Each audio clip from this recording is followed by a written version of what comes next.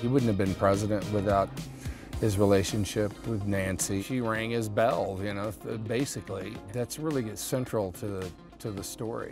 Yesterday, our special contributor Julie Moran brought you her exclusive with Dennis Quaid and Penelope Ann Miller, who play Ronald and Nancy Reagan in the upcoming film Reagan. And she traveled to a very exclusive place for that story, the Reagan Ranch. It's located in the mountains over Santa Barbara, and today she is back with more. I gotta tell you, Julie, I'm pretty jealous. You should be a little bit jealous because I got one for the bucket list for you. A horseback ride on Reagan Ranch with the man playing Ronald Reagan. But first, this film has managed to keep working despite so many setbacks with COVID. And Dennis and I talked production during this difficult time. And then I got that horseback ride.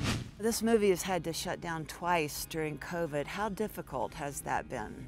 You know, we dealt with it. We shut down 10 days because of uh, of COVID. Uh, one of the crew got it. We had finished the Oklahoma stuff, and they had more to shoot, and they had to shut down again. Let's put the wide lens on the crane.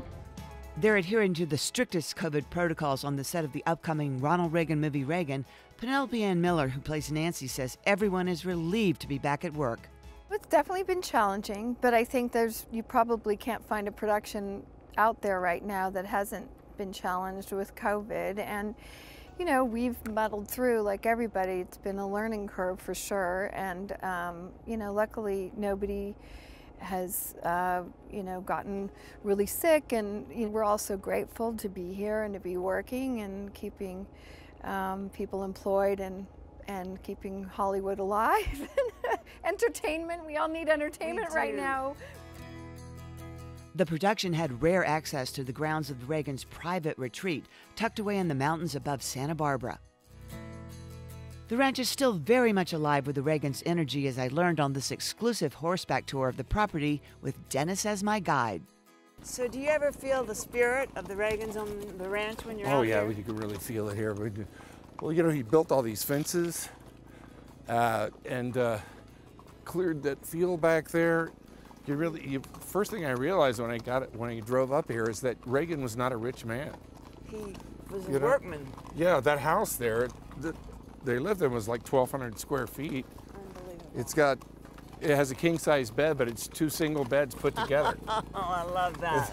they, they put, they let his library is there, and uh, they left their clothes in the closet just as, like the last time they left. So you could, you really feel like you're the, walking in their footsteps. Here. Yeah.